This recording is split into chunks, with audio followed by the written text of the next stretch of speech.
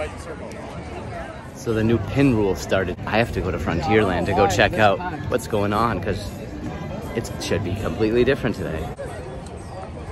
Okay, so let's see if the benches are full or not.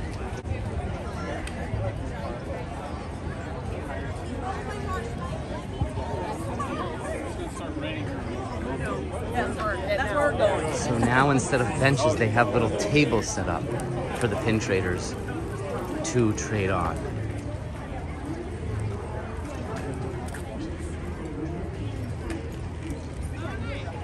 Completely different view than before,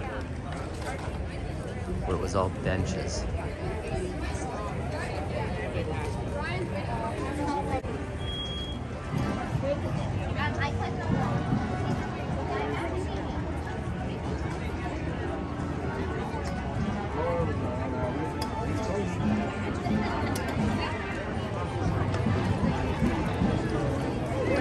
As you can see, it's different. No more benches.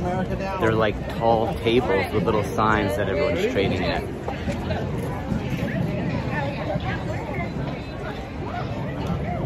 I think this only goes till 3 p.m. now, not all day and night like it used to. Well, that was good. Checked out the new pin rules.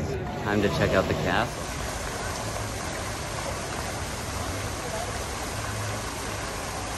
I could stare at this all day long.